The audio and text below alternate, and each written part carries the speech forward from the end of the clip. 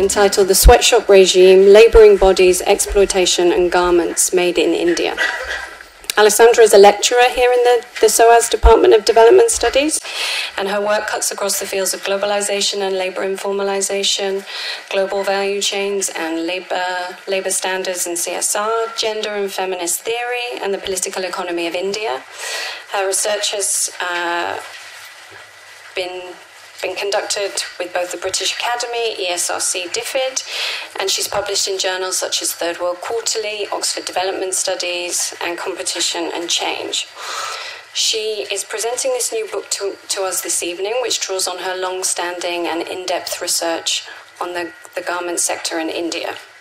It's uh, theoretically grounded in Marxist and feminist insights, and it's not quite published yet, so we can't sell copies to you this evening, but you should find some, some leaflets around if you want to take one of those with you.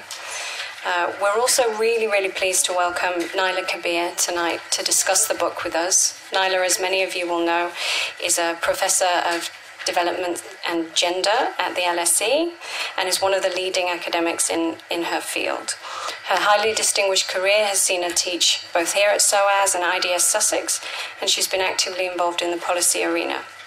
Her works include reverse realities, gender and social protection, uh, and organising women workers in the informal economy. Before I hand over to Alessandra, if any of you want to tweet, the hashtag is SOASDevStudies. And I just wanted to say a quick thank you to all the volunteers that, uh, across the department that have helped us tonight. Alessandra. Thank you so much for the very generous introduction. I hope you can all hear me. Anyway, I have a very loud voice. Uh, it's really a pleasure to be here because this project actually started here. So I think it's just um, as it should be. That is the first venue where I presented, and I see in the audience basically half of my acknowledgement in the book, which is uh, great to see, and also a lot of people that have seen the many avatars of um, um, this uh, uh, research. Now.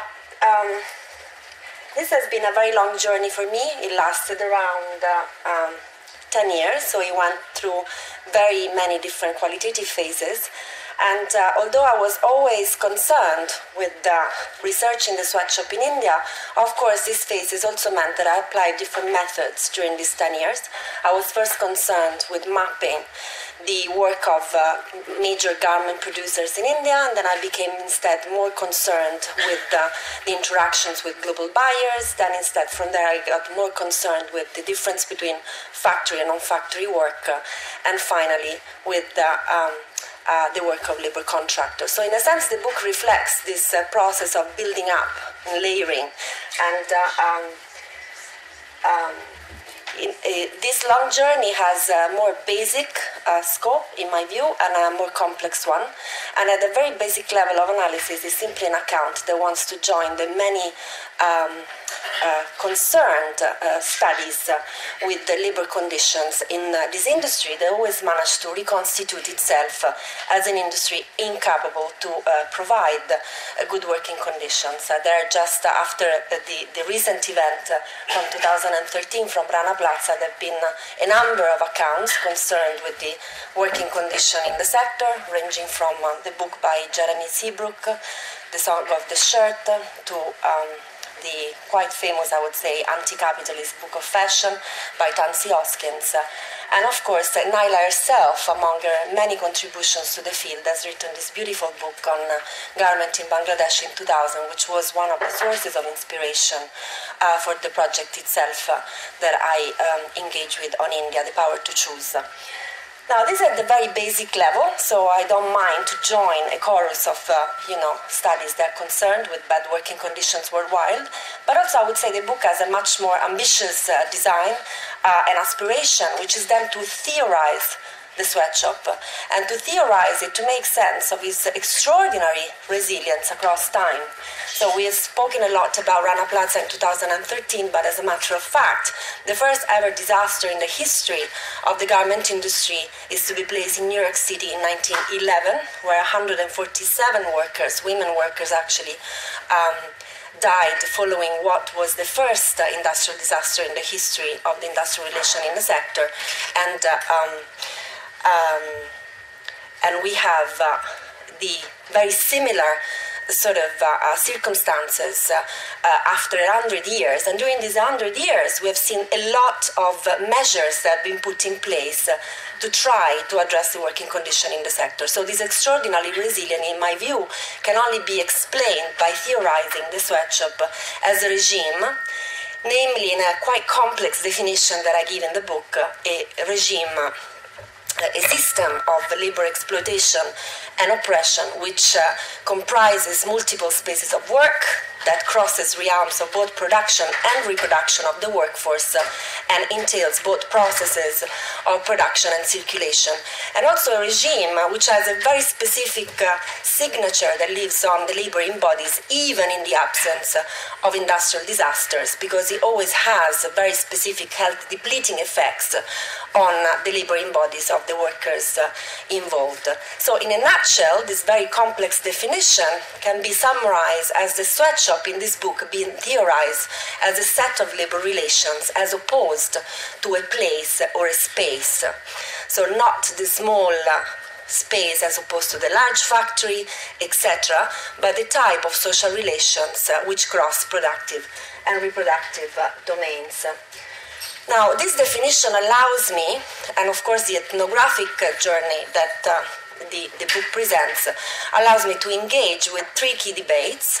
One is the one on industrial modernity, and particularly um, with ideas of stagism. Is the cheap labor model ultimately something which is temporary and it will go away? Uh, the second debate is that of modern slavery, which is, if you want, it's, uh, the opposing side of the coin, much more gloomier. Are these the modern slave of the global economy? And the third is the one on ethical consumerism that I've written a fair amount before. So today I'll just focus, uh, for reason of time, mainly on the first, uh, um, on the first two. So before um, I actually give you a sense of the um, structure of the books and the way in which this regime is shaped, I think I have to um, sort of give you a sense of the literatures that the book engages with and also some of the sources of inspiration. For a book that is called The Sweatshop Regime, I cannot but start uh, dealing with uh, the literature on labor regimes, uh, which of course was uh, quite influential in uh, the development of my ideas. The work of Michael Burawoy on factory regimes, where he actually highlights uh, how, for understanding labor, we have to match studies of the abode of production, i.e., of relations in production with the, an understanding of capital labor relations more generally uh, in India in this case and indeed at the global level. Uh, there are a number of very interesting spins that actually started off from Burawoy's work, uh, attempts to expand the concept of labor regimes to uh, areas of social reproduction. I'm talking about the work of Chris Smith and Pun in particular with reference to China. Um, and also instead uh, references to patterns of labor control which have interested other authors, particularly in the realm of geography, starting from the work of Jonas all the way to um, uh, the, the recent work by Mark Anner, and also some of the work that has been recently done by Jonathan Patten um, on rural India. And of course, uh, we have been engaging with this literature in the context of a project on labor conditions and the working poor led by uh, Jens who was uh, sitting in the second row on the right. So the uh, use of the word sweatshop as opposed to labor regime has a very specific uh, rationale here, and is uh, that I wanted uh, to um, um, focus the attention both on patterns of production and reproduction. Um, and not simply uh, focus on uh, the, the productivist uh, stage, um, but going also beyond uh, a theorization that only looks at uh, the daily social reproduction of the workforce. What does it mean? Pun and, uh, and, and, Smith actually look at uh, what workers actually do in the industrial areas where they work, while instead they wanted to have a uh, wanted to have a longer durée in terms of uh, the overall livelihoods of this workforce. And also the term sweatshop, of course, allows me to also point the um, directly um, underline the fact that we are looking at uh, highly precarious and harsh uh, working conditions that are systematically reproduced uh, um, by um, the industry. And in a sense, the book tries to unveil all the very complex processes through which this uh, production of working poverty is uh, um, actually perpetuated. And in a sense, it wants to contribute uh, to an analysis of how the so called cheap labor model is uh, all but a natural comparative advantage in developing societies, which is instead, uh, and instead is mainstreamed as uh, so very much, particularly in economics models of uh, uh, trade liberalization. So, comparative advantage in cheap labor has to be constructed and uh, in very complex ways through complex strategies. And there's a huge number of actors that participate in uh, uh, this endeavor. And while the construction of comparative advantages has been widely acknowledged in the literature, with reference to goods and service, you can remember Ha-Joon Chang's work or Anwar Shaikh's work on this, very little has been done, if not a bit by the feminist literature on this particular um, issue. Finally, the reference to the word sweatshop allows me also to address the interplays that I think intercur between processes of production and circulation, and this I think I'll have to explain more in depth as we go along in the presentation. Um, of course, uh, if you look at uh, studies of the garment industry, you cannot escape from uh, what is called chain analysis, i.e., study of global commodity chains that have contributed a lot in terms of unveiling the workings of the industry. However, although I indeed learned a lot from this literature, I still think that when it comes to labor, is systematically unable to treat labor as anything but as a residual so you are able through chain analysis to see what happens in terms of when a global process impacts upon labor, but you are unable to make labor the center of the analysis, which instead methodologically was a fundamental aspect for me behind this project. So, uh, to start from labor as a prism for the study of globalization and development, uh, rather than looking at as the global economy impacted labor. Um, representational issues, I think, are very relevant indeed, particularly as I feel labor has been uh, massively marginalized from the study of development for such a long time. Um,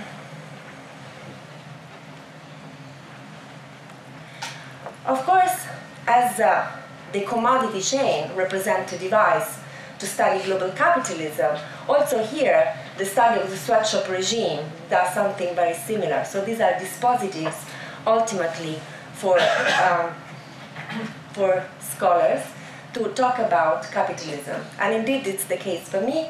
Uh, so the uh, representation um, of the sweatshop regime that I propose here wants to speak about uh, a very specific vision of capitalism and a very specific vision of class.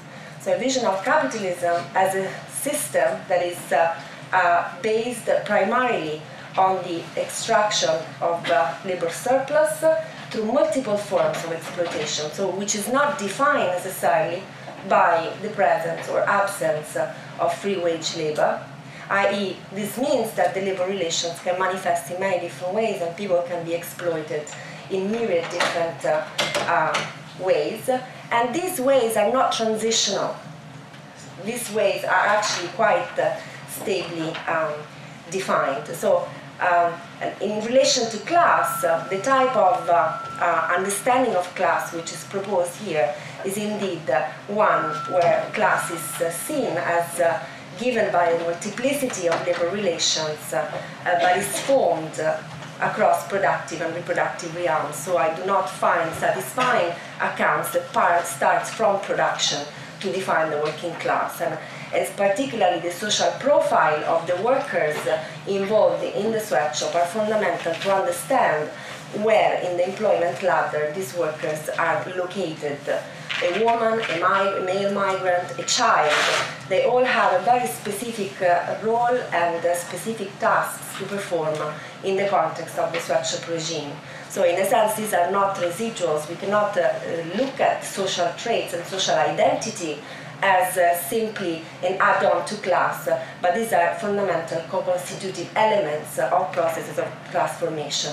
So the books which I found most inspiring for these theorizations, first of all, Jairus Banaji Theory, Theory as a History, 2010 book, and my early reading of Jairus I owe to Alfredo, who's also sitting in second row, during a, a study group uh, uh, that we ran a million years ago or so on neoliberalism. Um, and uh, the other very influential book for me was uh, has been Henry Bernstein's uh, Classes of Labor contribution. And uh, from the feminist literature, I uh, owe a lot, or these books owe a lot of its inspiration to the work of Maria Mies, Patriarchy and Accumulation on the Global Scale, and the um, more recent contribution by Silvia Federici, The Caliban and the Witch. So that the idea of social reproduction are co-constitutive of processes of working class formation. Finally, to give you a sense of, uh, you know, the, the, the, also the empirical material, where it comes from, of course, it's not a case. India is hardly a case study here. It was a fundamental inspiration, the way in which I could um, engage with global capitalism as well as class, for me an engagement with Indian political economy. And I hope the book actually also contributes to the understanding of uh, uh, Indian political economy in different ways. First of all, um, in terms of uh, uh, understanding the making of global India, how it's just actually unraveling, and how this is actually taking place on the shoulders of the working poor and how effectively the informal economy, which has always characterized massively uh, Indian capitalism, is actually taking over and dictating the rhythms uh, also in more formal realms of production, so that you have an expansion of processes of labor informalization that touches upon both formal and informal realms, so touches in this case both factories as well as uh, home-based uh, realms. Um, also, another set of contributions which I hope uh, the book does is an understanding of India that is based on regions. And I think too little is uh, discussed with reference to massive countries, emerging economies like India, but I would say like others in terms of the very different industrial trajectories that characterize uh, this uh, massive social formations. And indeed, uh, understanding regionalism in India uh, actually um, is fundamental to understand the various trajectories of capitalism you find.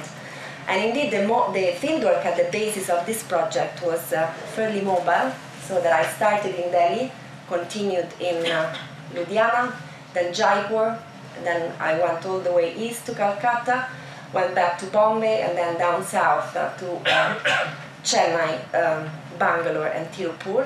I will present to you very um, soon in a map.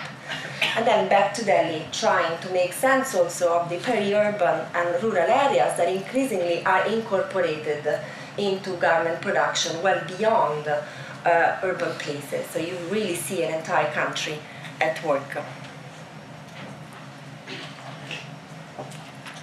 Now this is uh, from the table of contents. So the book, what it tries to do is to convince you that uh, not only we can theorize the sweatshop as a regime, but this regime is composed by very specific factors, which then correspond more or less uh, to the majority of the chapters uh, that are presented in the book. And the first uh, chapter after the introduction wants to convince you of the case, of the relevance to shift the attention from the chain to the sweatshop, i.e. from capital to labor, and then the following chapters each deal with one of the aspects of the sweatshop regime, starting with the, the uh, correspondence between physical and social materialities of production, and I will get to what I mean by this in a moment.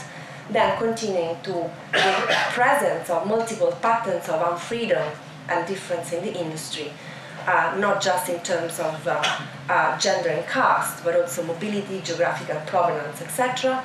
Um, and then he continues uh, trying to unpack the sweatshop as a joint enterprise, where the process of surplus extraction, i.e., the production of working poverty in the end, uh, cannot be ascribed only to a couple of bad guys.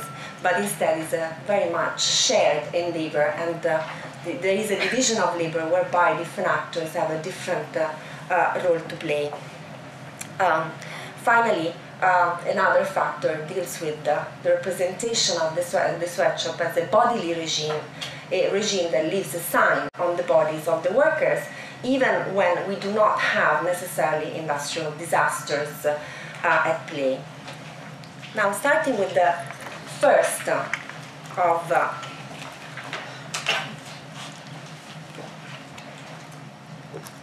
starting with the first of uh, um, our features, what do I mean with the physical and social materiality? Well, there is a very strong correspondence in India between uh, patterns of product specialization, i.e., which garments we talk about. If we all look at each other, we're wearing different things. So the word garment actually says something and nothing. very different seams, very different processes, very different product cycles. Well, there is a correspondence between these physical features and the social processes of labor or production and labor, they're connected to them. So in a sense, it's a bit like, uh, tell me what you do and I'll tell you who you are. So you see this uh, correspondence quite strikingly. Um, and in a sense, uh, it's what establishes this direct connection between uh, competition and exploitation that actually Marx talked about. And I don't think it's a case that he started chapter one of volume one in Capital with a chapter on commodities. Now, I'm very much aware that when you talk about physical materiality, you, you can be accused immediately of commodity fetishism. But my contention here is just that only by studying commodity fetishism you can actually see how employers fetishize labor and how effectively commodity fetishism, although we have to unveil it through our analysis, has a very real effect in the world of labor. So I'll introduce you to how um, global buyers and outsourcers see the country. So I welcome you to, uh, well, you can call it India Mart or you can call it sort of uh, India H&M version. So if you talk to any buyer or uh, global retailers, they, this is how they see the country. It's a massive garment mall with different garment collections available at different floors and this, of course, corresponds to different trajectories that historically the industry has gone through. So you see the presence of uh, niche garment production in the north, in uh, the areas of uh, Delhi and the national capital region, which is the metropolitan area around it. Then in Jaipur, Ludhiana, and, well, partially Calcutta.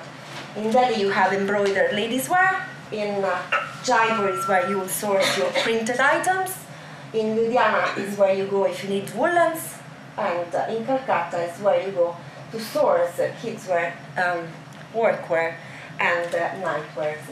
All these niche production are characterized more or less by very complex and uh, fragmented product cycles, which means that you have smaller batches of orders, generally speaking. So H&M will source there your nice skirts, which is embroidered uh, with a nice uh, design, or uh, the t-shirt or shirt you're, you're wearing with a funky printed um, drawing.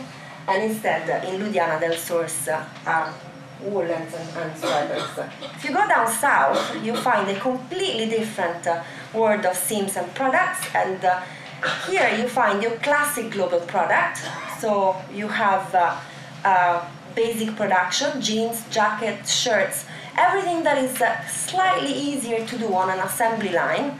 And also, of course, uh, down south, so you find larger factories on assembly line production. So for engaging with the niche production, you have to have shorter cycles, while instead for larger um, batches of basic orders, you will need the larger factory.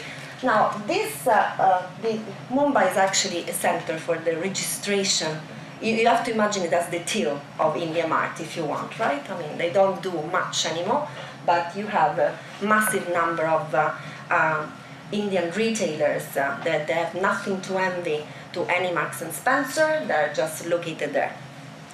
Now, this being the map of the products, this is the map of the people. And these are fundamentally different sets of labors that you find at work. So again, starting from the north one, we've seen we have niche markets and uh, we have um, um, more complex product cycles. You find uh, very complex combinations of factory and non-factory labor. Factory labor is characterized by um, male migrants, mainly from the Hindi belt of Bihar and Uttar Pradesh, and you have combinations of uh, non-factory labor in home-based uh, establishment or home-based like establishment. Your armies of home workers you find here, and from the biggest hubs like Delhi, you find that these uh, um, home workers actually are sought after all the way through the hinterland. In the south, completely different. You actually enter a factory and voila, you find 80 to 90% female workers on an assembly line, much uh, larger venues, and of course, it makes a lot of sense in terms of cost minimization to deploy gender as a principal axis of discrimination because you're able to pay these uh, workers less. So there is a very strong correspondence between the physical features of the commodity we see and the type of laborers that we find at work, which leads me to a second component of the sweatshop as a regime, which uh, deals with patterns of difference and unfreedom. Now, if you look at the literature on sweatshops, uh, what I find deeply dissatisfying is generally dealing with unfreedom uh, focused primarily on what I would call the excesses or the extremes.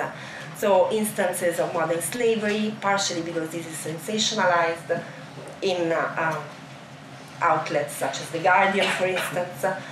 And uh, um, you have that generally there is a very liberal understanding of uh, unfreedom that is connected to forced labor or bondage. On the other hand, in the Marxist literature, you have a much more interesting debate around uh, dispossession, about ownerships of means of production, but also this literature actually falls short to try to map all the possible ways in which unfreedom manifests in the industry. So if we go back to our map, for instance, depending on which understanding of unfreedom we deploy, we will have different sets of contribution to make vis-a-vis how these people actually live and work.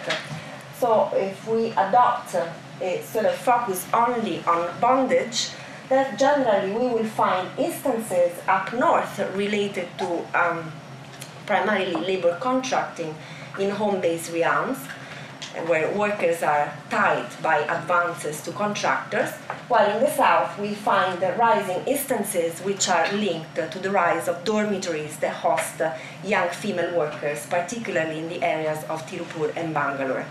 So, with a very restrictive view on freedom, this is what you get. If you instead uh, talk about unfreedom in terms of dispossession, becomes much more trickier and in terms of ownership of means of production, you have the combination of free and unfree labor you see correspond more or less to the distinction between factory and non-factory work. And uh, again, link this with patterns of debt. However, I would contend that if you look at wage levels, uh, you can find actually interesting trade-offs between different forms of unfreedom. So, for instance, uh, my work in Uttar Pradesh uh, with the home workers has revealed that, as a matter of fact, the workers which uh, you will be able to define as neo-bonded, i.e. those that receive advances, uh, are not the worst off in terms of take-home wages. The women are, which will receive nothing from the contractors because they're already attached uh, to the walls of the house. in this sense, patriarchal unfreedom, or generally speaking, social forms of unfreedom, can actually establish trade offs with the economic forms of uh, unfreedom. This is an important point that I'll go back to in the conclusions for dealing with the debate on modern slavery. A fourth, uh, um,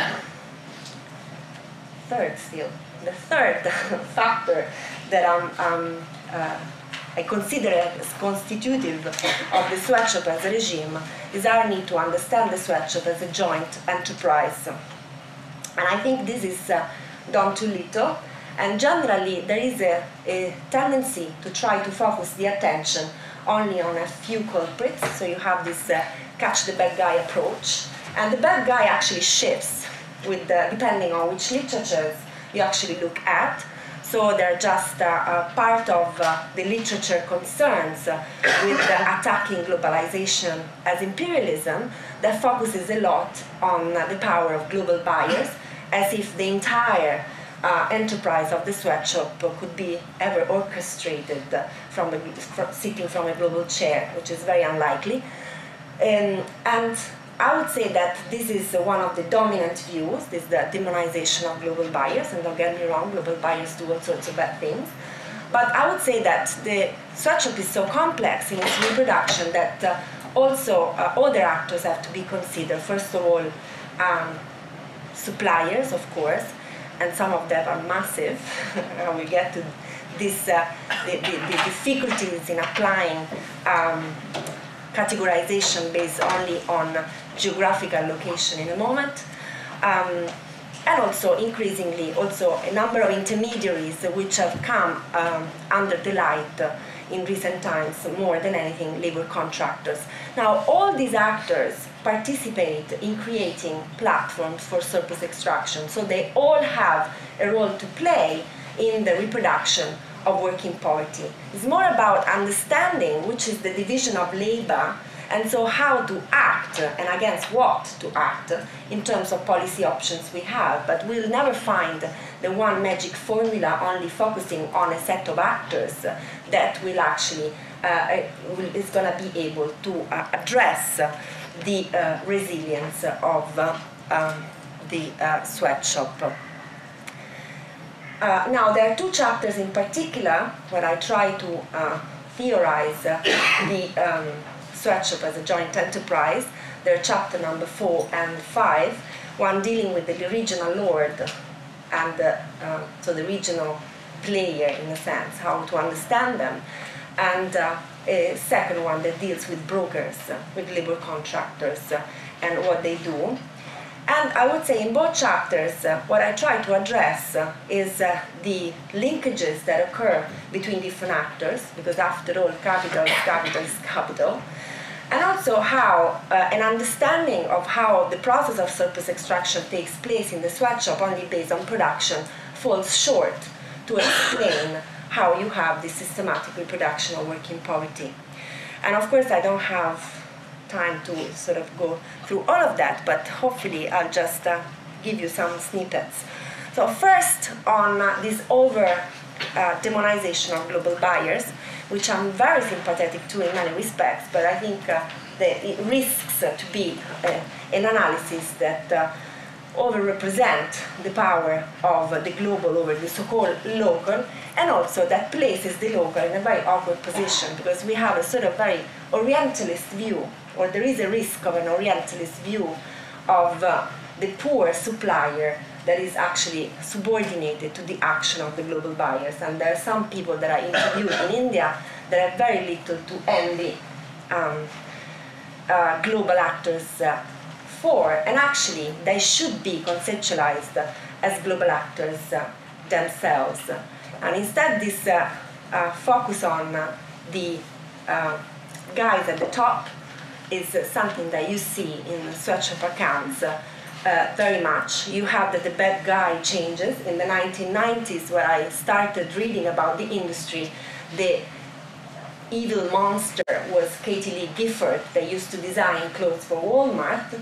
Now, here, uh, she's been substituted in the imaginary of people with uh, Ortega, who's uh, the owner of Zara. But still, you have this understanding that the global buyers are solely responsible.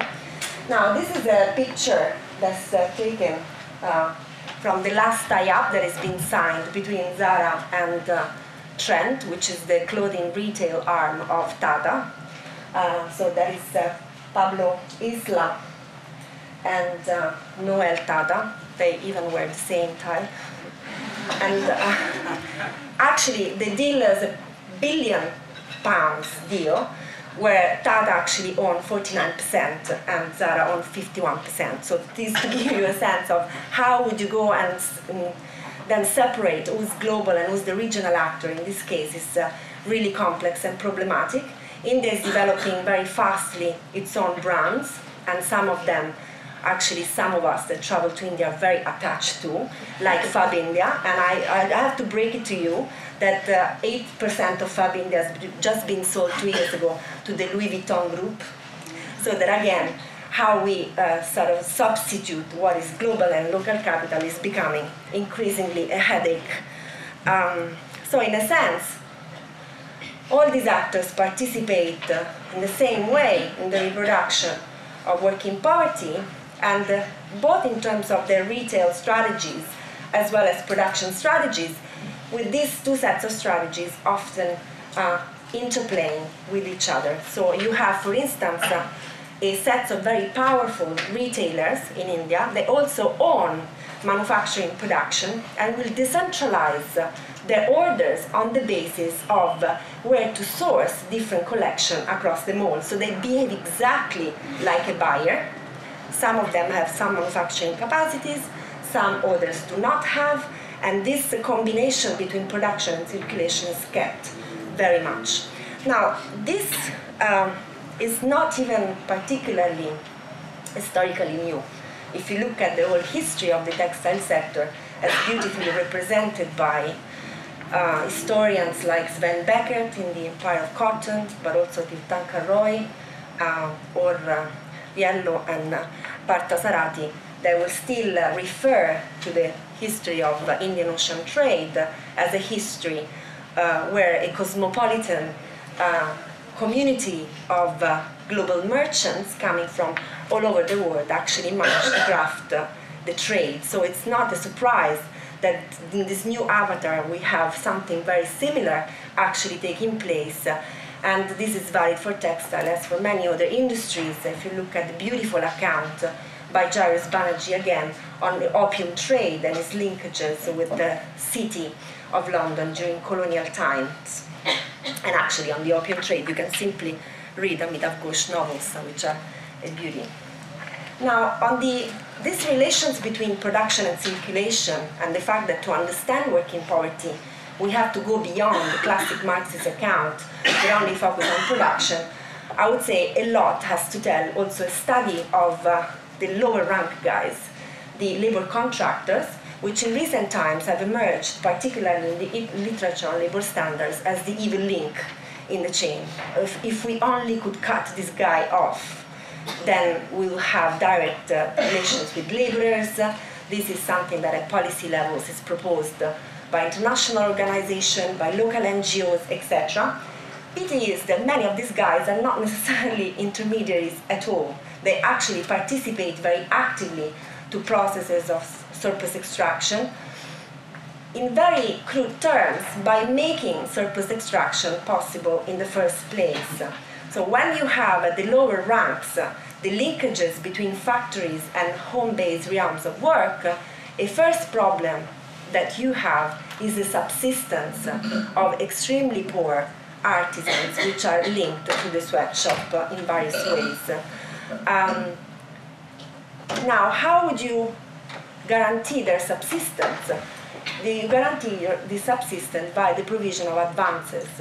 And a lot has been written about advances in terms of their role in uh, reproducing uh, and freedom, and that is definitely a way to look at that.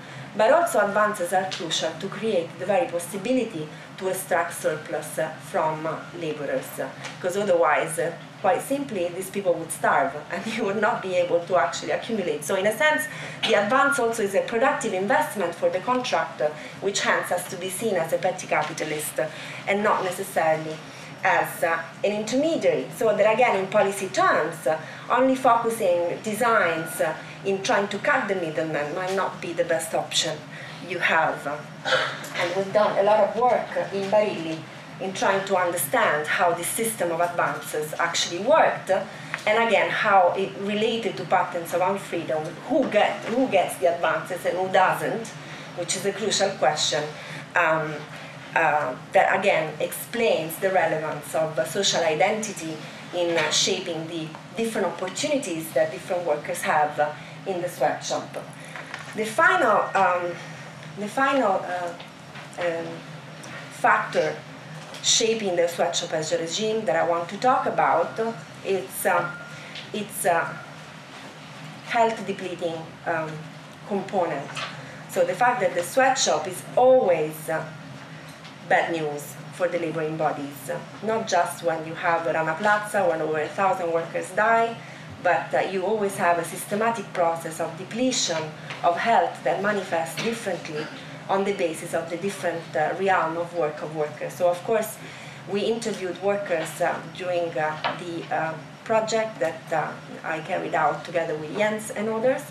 And of course, workers in factories report different health issues than workers in the lower ranks of the chain in home-based realms. For instance, in the factories, very um, common that they report um, allergies or back pain. We have waves of fainting in the uh, in the larger industries that actually bring us back to Aihwa Ong's account on uh, factory workers in Malaysia. And uh, these waves of fainting are also not necessarily only characteristics of uh, India. They were reported in, in, with reference to Cambodia in a beautiful article of the New York Times by Julia Wallace that was uh, titled quite provokingly Workers of the World Faint. Now, the, uh, however, in each and every segment of the sweatshop regime, you do have that the health depleting effects are so severe that eventually will have uh, a very harmful impact on the body. And uh, you see that employers in the context of India never internalize the cost of social reproduction of the labor force. So they're able, across all the different venues of work, not to engage with their provisions. How do they do that? Well, they do that because in India the workforce is mainly uh, circulatory, and the process of labor circulation cannot be only understood as classically is done in relation to patterns of internal migration between urban areas and the village. There's been done extraordinary work on, uh, in Indian literature on this, and the work of Jan Breman is uh, astonishingly vivid in like uh, showing you or taking you through how the process of uh, internal migration actually works. But I would say that with reference to the sweatshop, um, it's only part of the story when it comes to understanding how you have this uh, ever pattern of circulation reproduced and how employer can simply you know, wash their hands over the provision to the, to the um, workforce. So there are three types of circulation which we found in the survey uh, connected to the projects where there, was, uh, there were interviews of over 320 workers in the more organized segments and uh, interviews of 70 workers in home-based sectors in the national capital region. And we had yearly circulation, but also other two types of circulation, one connected to um, the uh, industrial area and one to the life cycle of the individual. And I'll quickly go through them. We found 30% of workers uh, circulating classically between the NCR and the village, so going back on a yearly basis. But we found an astonishingly higher rate of people circulating within the industrial area. Workers, 60% of workers reported to work in the same unit for less than a year which means that the factory is never the venue that actually can uh, sort of deliver social provisions, also because in India you have no portability of social contributions. So basically, the factory, the employer is never forced to internalize the cost of the social reproduction of the workforce, and uh, all workers, 80% of them, reported that they basically access private clinics for anything that concerns their health, even those in tier one factories. So one of the other classic stories about sweatshops is uh, larger unit will deliver better. We found that this was hardly the case because workers had a very high level of break-in service, which meant that they exited the factories very early. And wage levels across the sectors was extraordinarily similar. So if you take social contributions aside, which are paid by larger factories but then they go wasted because workers cannot actually uh, access them and they will leave the factory before. Take home wages were very similar, set between 6,700 and 6,900 rupees. So, in a sense, for a worker doesn't make much much difference who you work for if uh, you know that you're going to circulate. And anyway you're going to lose the social contributions uh, that you possibly mature. So this is also why there is this uh, sort of uh, every production of this very flexible geography. Is designed by capital but is co-designed by labor. Those workers make very rational choices. Why should i care if uh, who i work for if after all more or less i earn the same? Um, and finally, the third uh, important uh, aspect of circulation relates to the march out of the sweatshop that very few people, particularly those concerned with uh, or that have a benign vision of industrialization by stagism, refer to, which is how long these workers ultimately work for. And we found that the majority of workers work, finish work in the workshop, in the sweatshop, whichever the venue, whichever the chambers of the sweatshop uh, they work with, they finish by 30, 35, which is really young. But, and to an extent, you can talk about uh, retrenchment, so to an extent they're sent away, but to another extent, if you also consider the narratives of health, they actually are exhausted and simply go back home eventually as sacked oranges, as nicely put by Jan Breman, after 10, 15 years of engagement in the sweatshop. So there is this production of human waste, which is also very quick inside the sweatshop and also has big implications for how we think about the cheap labor model in stages terms or not. So on this, I, I'll just spend a few minutes on conclusions.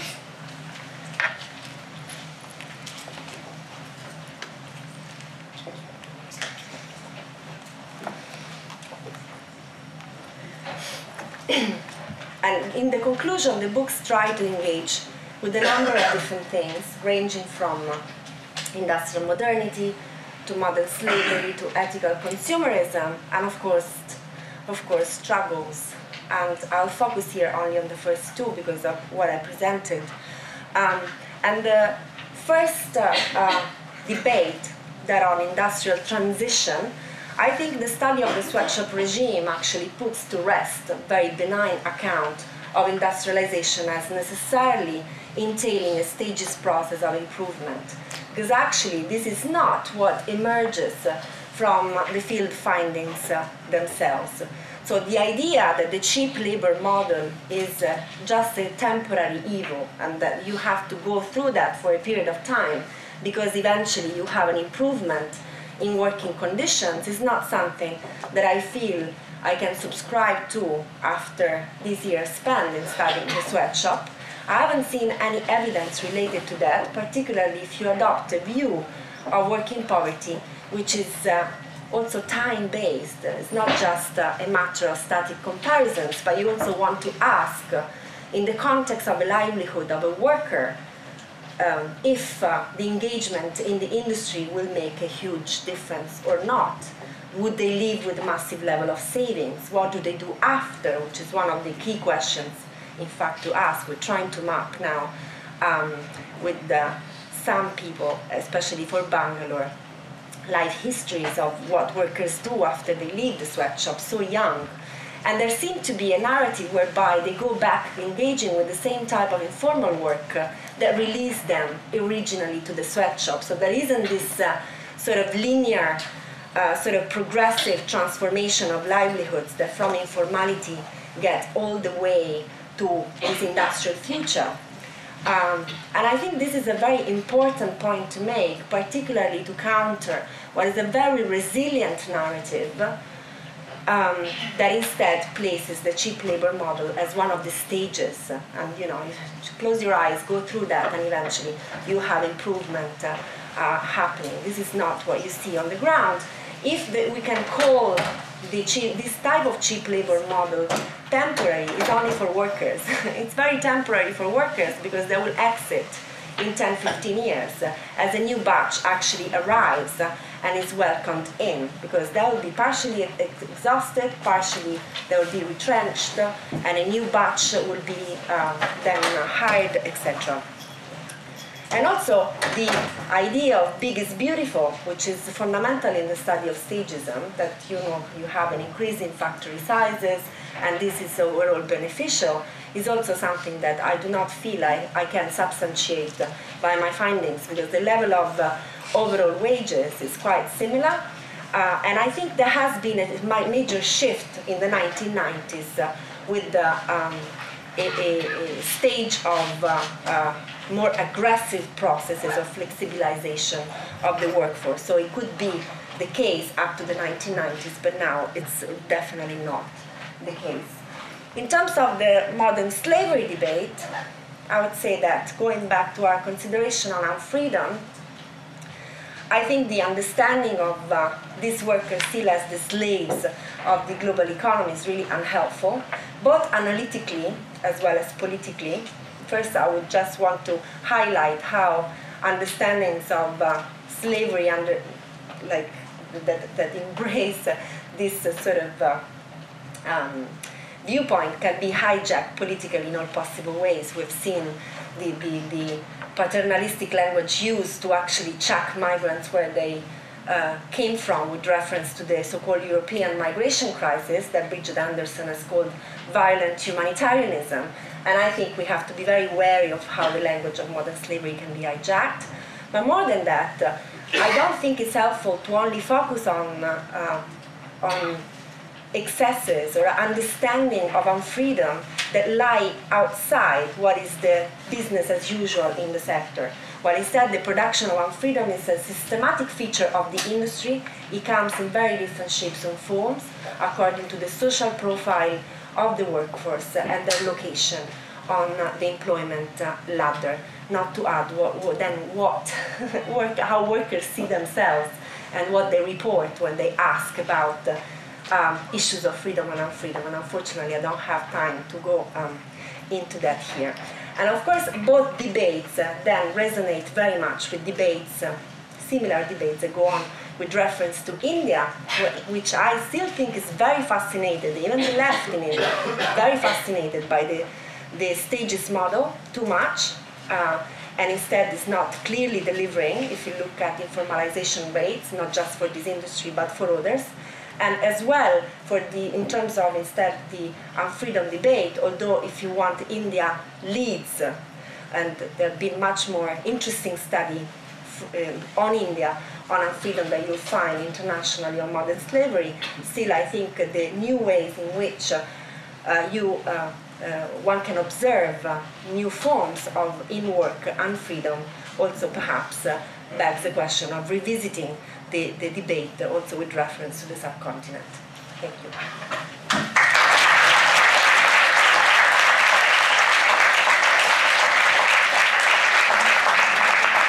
I'll start because this is going to take some time.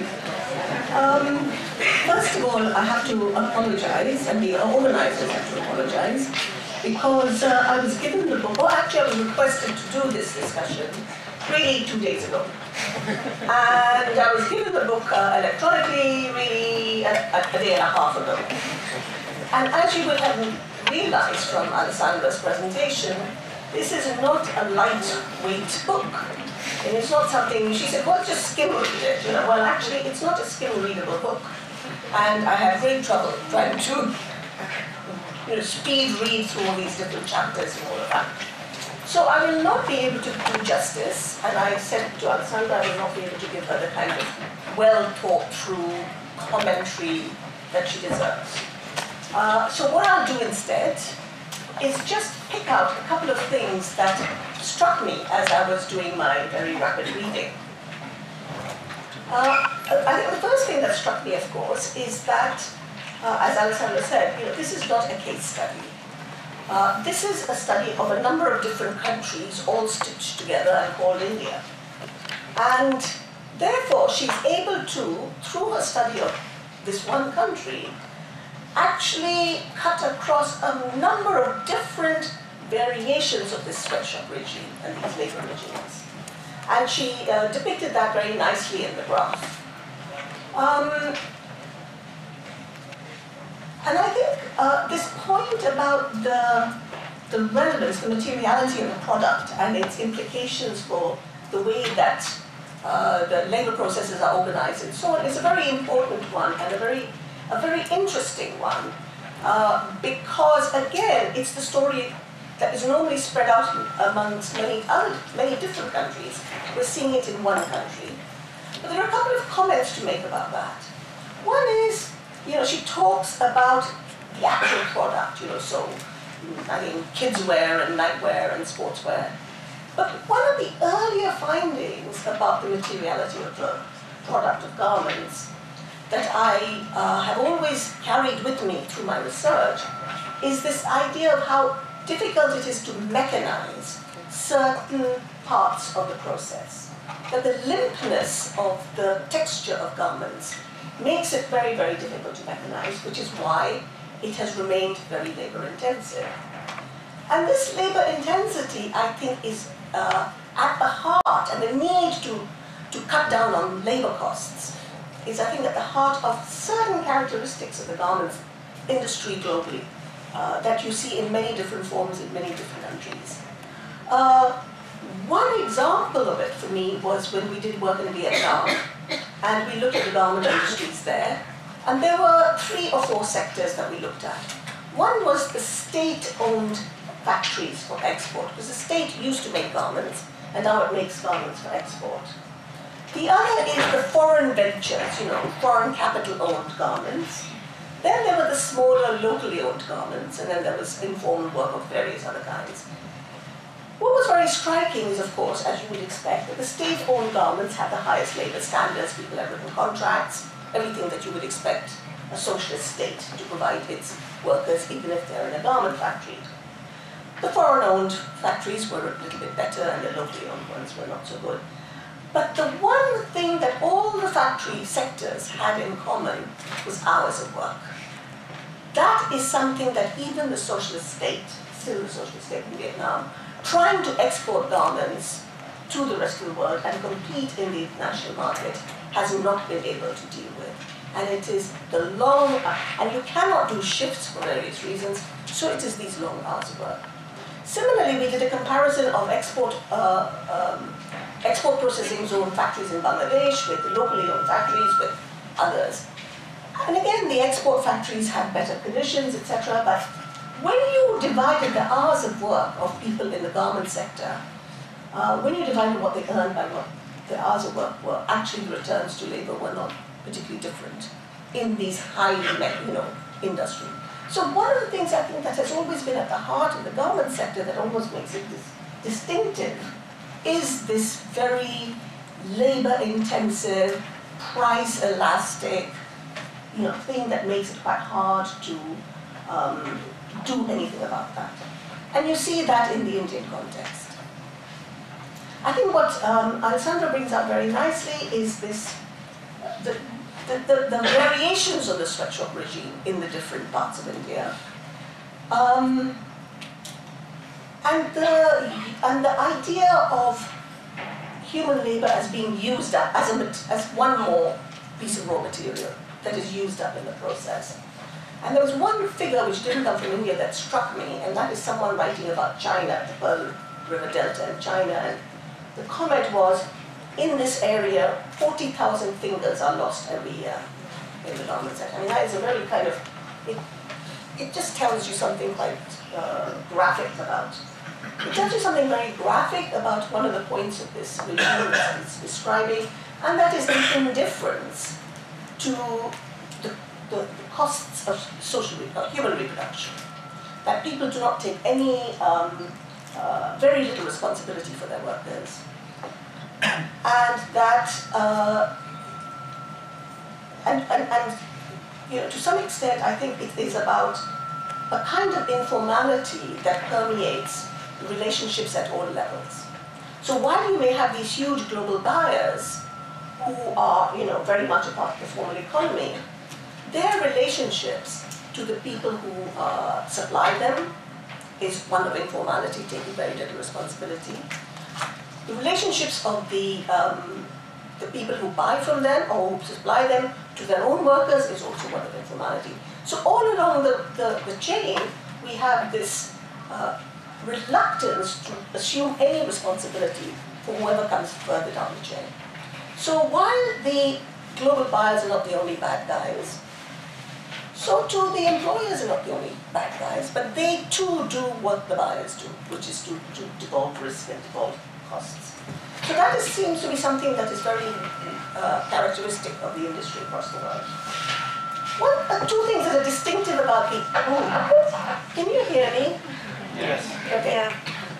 One of the things that are very distinctive about India, again captured in uh, some of her figures, and this was very interesting for me, is that in 2001, the Indian garment sector earned over, over earned five and a half billion dollars on the basis of 10,500 factories. The Sri Lankan garment sector earned, same year, $3 billion on the basis of 300 factories. And I think that is telling you something about the Indian story of the missing middle. That you have these great big industry the factories, you know, large, and then you have this huge network of what I gathered from your comments, um, almost policy created informality, policy created small sectors that, you know, in the name of um, protecting local industry, you, you encourage these tiny workshops and so on. So I think that is something very uh, distinctive about the Indian industry. The other interesting thing is, I think, uh, when we talk about uh, the, the, the, materiality of the product and how it plays out, this may or may not be coincidence, but there is a very distinct north-south divide in, in the, uh, the gender composition of the labor force. So in the north of India, where in any case female labor force rates are extremely low, we have a, quite a masculine labor force.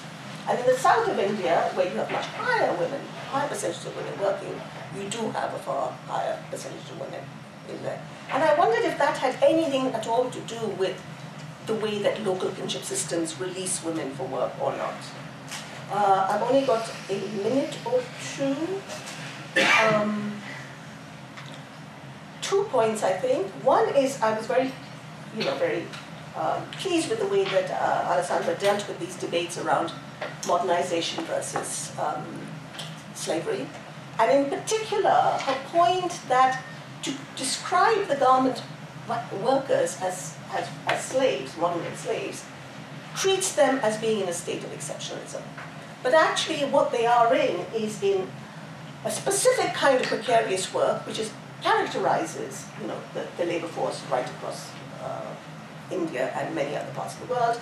Clearly, because these workers are working for such high-profile factories and such high-profile names, there is something about the publicity that surrounds them that is quite distinctive to them. And my final point, in fact, you kind of picked up on it. I, you talk about these workers, you know, work, yes, they burn out. They do burn out. You cannot work those kinds of hours and retain any, you know, kind of uh, ability to continue. But I would like to see those life histories and what happens to those workers because the phrase you use is, you know, they're kind of dumped on the waste, waste heap. That's not necessarily the Bangladesh story. You know, they work for a very, and they know they're going to be exploited and they work very hard, but they do save and they do um, they go back to the informal economy, but they go back to self-employment and they set up enterprises, small-scale enterprises. And to some extent, as long as there is a dearth of formal sector decent jobs, those self-employed uh, ventures is probably preferable to some of the kind of wage labor that is available to them. So I would be very, very interested in hearing how it goes for, for the workers who, who march out, if you like, of the industry. Do you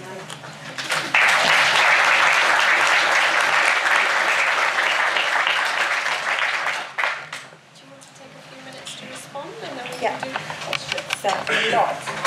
Luckily you didn't have much time to actually read the book fully because otherwise I wouldn't have been able to get to those points. Thanks, because all the points are very relevant and um, I would agree with you that in terms of uh, the correspondence between the physical and the social, indeed there, is this uh, fetishization of uh, the body as yet another raw material. So that, of course, you know, teach on uh, labor is not a commodity. This is the neoclassical stories. Of course, that is a fiction, but it's a fiction that has very real effect in uh, the world of labor ultimately. Uh, and there is a, a, sentence, a phrase by Silvia Federici, which I think brings the point home quite uh, powerfully. It is the human body and not the machine, which is the um, and that is it's the human body that is the first ever machine invented by capitalism. So you know the rhythms, the way in which it's introduced to production, the way in which you can commodify different social traits of the individual for different uh, scopes. So I, I definitely um, um, think uh, that that is uh, yet another uh, very good way to, um, to put it in respect to uh, raw materials. Well, in terms of uh, um, the garment industry being necessarily a labor-intensive industry, I would say yes to an extent. Of course, there are, depending on which uh, markets you engage with, because there's uh, massive diversity in terms of final markets, you will have certain um, tasks which is very difficult to mechanize, like embroidery, also where the premium is on the artisanal look. Okay, you go to H&M and you want an Indian looking shirt. You don't want a industrial looking shirt. So I think that is uh, the artisanal premium stays and becomes part and parcel of the value addition of the product itself. So of course those are not meant to be mechanized because part of the value addition actually rests on the inability for them to be mechanized. But I think if you look at the uh, labor component of the overall cost of production, this is what instead has changed massively over time, particularly with the upsurge of what we call the fast fashion model. So the fact that today we can decide if uh, we want a pair of jeans or buy an ice cream has to do with process of devalorization of labor. So that the, more or less we found that the employers spent between 5 and 8 percent of total cost on the labor force, on a labor intensive industry, which is a contradiction in terms. So, in a sense, these are shot up profit levels. And I think uh, we should not be satisfied with simply, you know, sort of pointing at the fact that, okay, this is uh, labor intensive industries, because there is a paradox with the labor intensive industry where labor is not the major component of the production cost. So, you, this is what in economics you would expect. Um, uh, even following, I would say, the, the, the mainstream story. And in terms of uh, India creating informality, definitely I, uh, I would say that I agree with part of the argument because if you look at uh, the Indian state's uh, role in uh, the sector, um, as actually pushed towards the reproduction of small and medium enterprises, particularly again because these enterprises could uh, ask you the responsibility vis-a-vis their labor force. So, for instance, uh, if you have uh, an establishment which is less than uh, uh, 10 or 20 workers, you don't have to register. And uh, if you have an establishment which is less than 100, you have certain responsibilities and not others. If it's below 1,000, you don't have to ask for government permission to shut down. So, of course, even in the north, where we have, uh, in terms of overall capacity, some major suppliers which command uh, 10,000 machines. You go and interview them, how many machines you have? 10,000. But then if you try to find out how many units they have, maybe they have 50. They prefer to keep it separate exactly because they're responding to government incentives, although something has changed since 2000 with the new textile um, policy, which has uh, um, ended what it was called reservation to the sector. Now, the problem is that the Modi government at the moment is revamping instead the push towards informality at the very least is uh, managing to decouple the informalization of capital from that of labor. So basically, is uh, allowing factories to enlarge and at the same time is allowing these factories to employ contract labor. So there is an amendment to the Contract Labor Act that has been under discussion. There is a revisiting on who's a child when it comes to um, child labor. So there are all like labor sort of uh, um, reforms which are underway under this government and don't look uh, good news for workers either in sweatshops or indeed in many, many other industries, I would, I would say. And finally, on gender, yes, indeed, of course, it's not the case that you have uh, also that division of labor between North and South corresponds to women workforce participation rates. But in a sense, for instance, also in Bangalore, you had male workers originally. So what is it that drives an industry towards uh, finding in a specific set of laborers the ideal workforce? I don't think path dependence is sufficient to explain because uh, if you look at uh, the story of the type of commodities and how they spread across India, it's also a story of final markets. So in a sense, women workers were already available in the south, perhaps, uh, to be deployed as workers, but at the same time, the south set up uh, it's sort of an architecture of production where women could guarantee the skilling and the minimization of costs of production. So in a sense, it's just a story that uh, where you you have the, the historical trajectory of, of uh, uh, gender relations and and the incorporation of women work, workers in uh, manufacturing activities uh, that matches with which type of market then employers sought to actually make the most out of uh, you know this raw material that they had um, uh, in the south. And finally, um, what do they do when they exit? For now, we just collected uh, very ethnographic material. They're like uh, life histories of initially 20 workers leaving the Bangalore garment industry. And uh, it seems that the significant uh, story that is recurrent, um, but also interviewing the unions and the labor organization presence is they start doing domestic work. So in a sense, it's not a story of petty entrepreneurship. It's really back to normal. And I think the difference with the Bangladeshi story here it's twofold. On the one hand, what happens in the 90s, where I think there is an acceleration of the cheap labor model, because before you could trace older workers, even in India, you have stories of women that tell you, I worked in the industry 25 years. That's not the case anymore. So I think it has to do with the increasing patterns of uh, uh, commodity diversification, so patterns of consumption. So there has intensified work, and so workers exit earlier. So that is one. Um, and second, I do think that the, the, markets where Bangladesh and India engage with are very different. So that you know, India is not a competitor for Bangladesh necessarily. So you have the same buyers that both outsource from India and from Bangladesh because they know that they actually do very different things there. And the type of uh, production that you find in India it lends itself more to extreme kinds of variety. Fantastic. Okay, questions?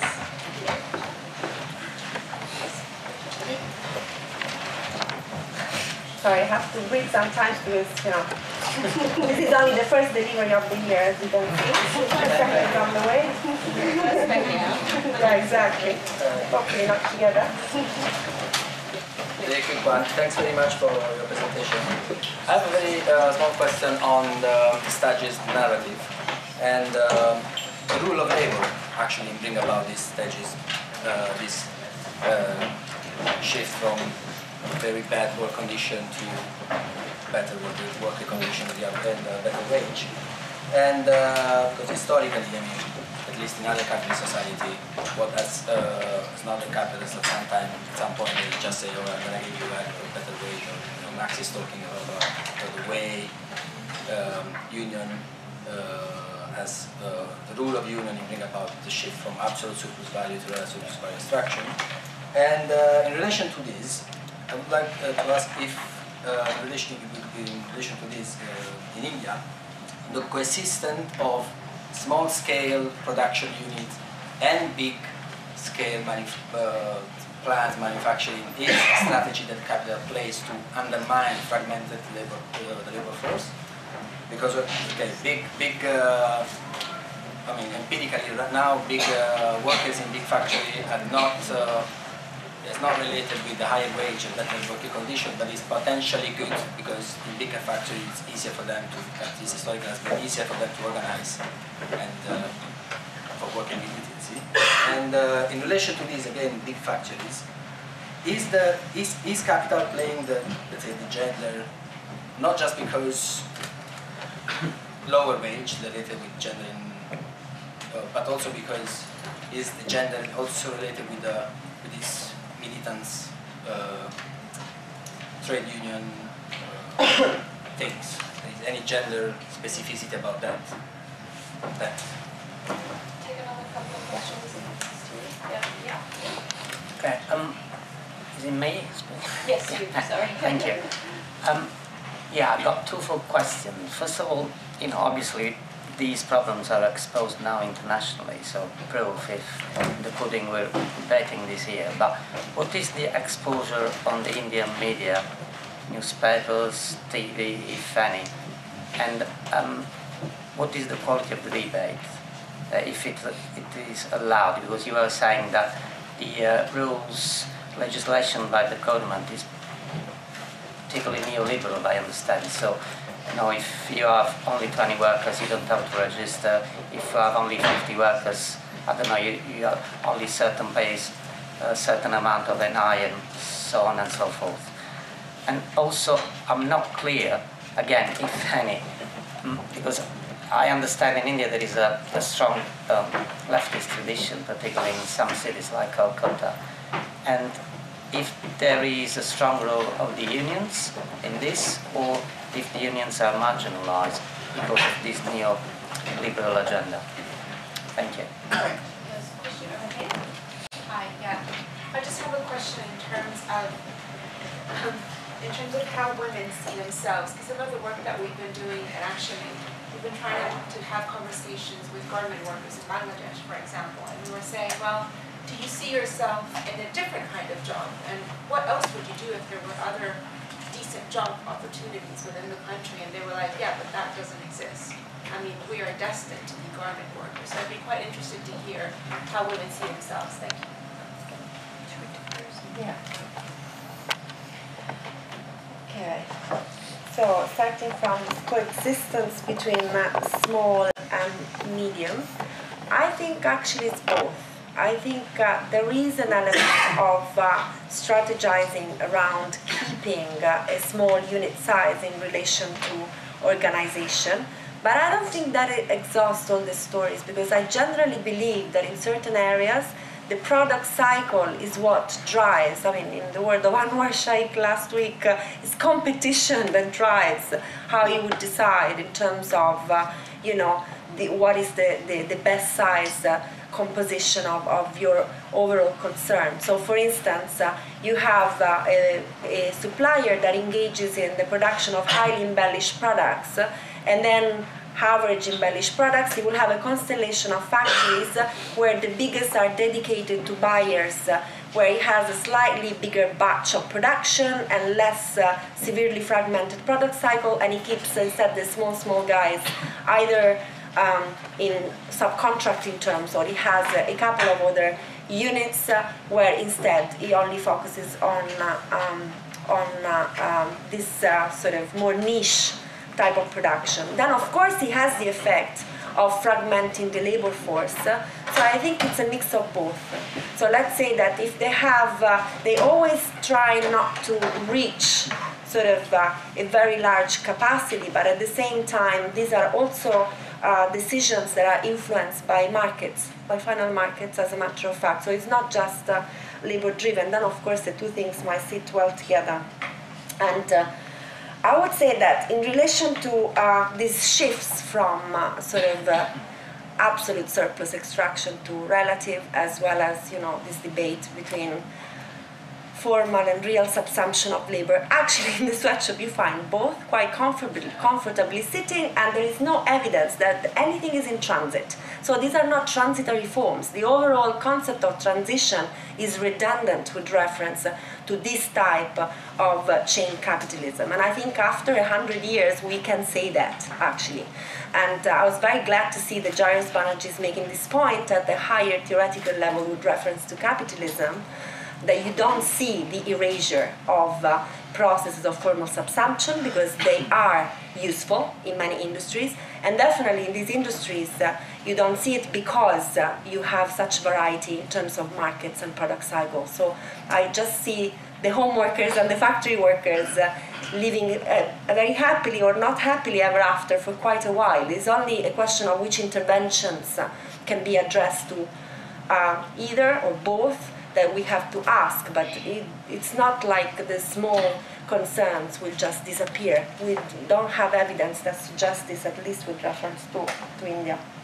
In terms of gender, well, of course, at the beginning, the substitution of male with the female workers in the south uh, partially responded to understandings, fetishized understandings about uh, gender and militancy. But as a matter of fact, if you look at the last five years, some of the most interesting strikes that we find in the industry, which are very sporadic and never linked uh, much to the unions, I must say, have been actually carried out by women garment workers because their salary was so ex- extraordinarily low um, vis-a-vis the male counterparts up to, up to five years ago that they're the ones that actually staged the campaigns. And recently in bangalore i think six to seven months ago they've been part of another struggle uh, when the government proposed to change the regulation on provident fund so i mean you know, the fact that women are docile and they're nimble fingers, this is all part of the mythology of capitalism, but employers should not trust too much that mythology either, because sometimes it doesn't work that way. Um, now, in terms of uh, uh, what happens in India, well, there is no consumer movement as such in India, but there is a rise in uh, ethically aware consumption I would say that it's not very big at the moment, but you do have a general push towards uh, issues of ethical trade, at the very least at corporate level. In the last three, four years, you have the rise of the CSR bill, for instance. So there is this bill that decides that corporations have to contribute a percentage in uh, corporate social responsibility activities. And for the garment industry, you have an attempt, very smart attempt, by the Ministry of Textile to uh, develop their own code of conduct. So, of course, this doesn't respond to consumer pressures. This responds to the fact that who owns compliance owns the business.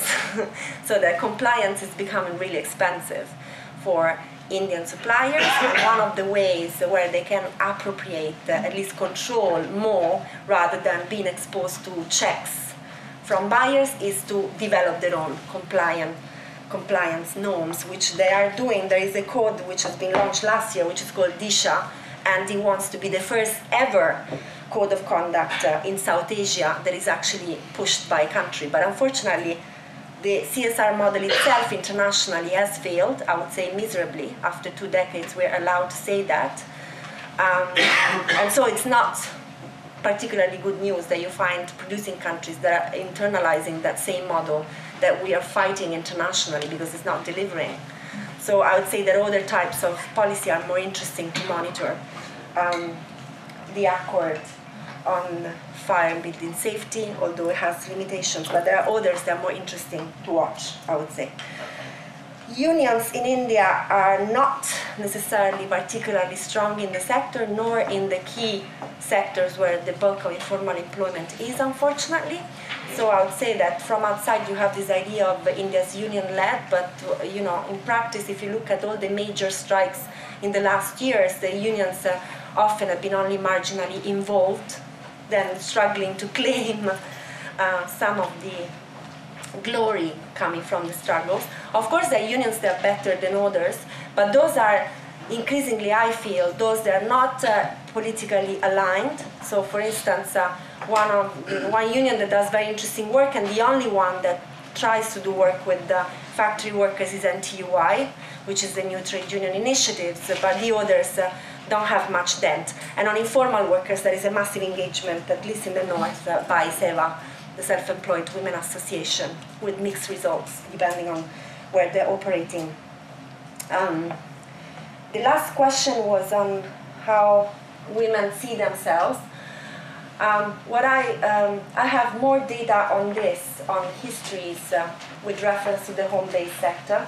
Uh, we did a fair amount of work with uh, home workers uh, between the Delhi region and Bareilly.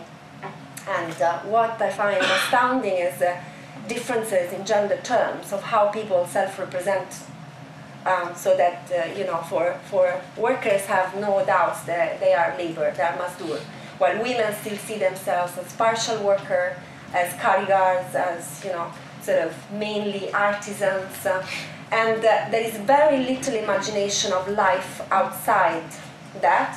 What there is, uh, what's really interesting is when you ask questions about uh, opportunities, as it's very similar to when you ask question about education, they answer with reference to their children. So they answer with the aspiration they have with reference to their offsprings, even if, as a matter of fact, a significant percentage of their children will not, in fact, be able to do anything else. So that there is at least, uh, you know, two or three children that will have to be socialized to the craft, to the work, embroidery in particular, uh, and only few are able to then move elsewhere. So we haven't seen that level of social mobility um, that, for instance, uh, um, in, in other studies, uh, older studies, uh, you, you um, instead have seen, for instance, Naila studies of Bangladesh very different. But they do voice it mainly with reference to offsprings.